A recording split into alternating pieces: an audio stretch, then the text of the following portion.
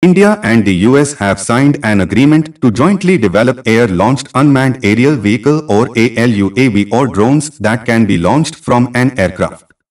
This involves teaming up manned and unmanned aircraft for missions.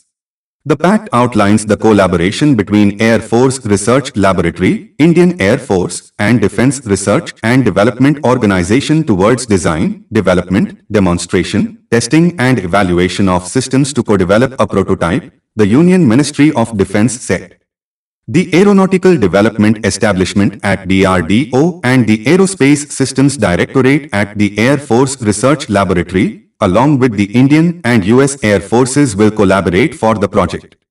In July, the Ministry of Defense and the US Department of Defense signed a project agreement for air-launched unmanned aerial vehicle under the Joint Working Group Air Systems in the Defense Technology and Trade Initiative.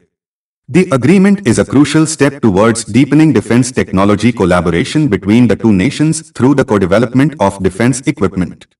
The aim is to bring sustained leadership focus to promote collaborative technology exchange and create opportunities for co-production and co-development of future technologies for Indian and US military forces. C-130 Super Hercules jets of the Indian Air Force and US Air Force likely to be used as the launch platform of the air-launched unmanned aerial vehicle. Thank you everyone for watching this video.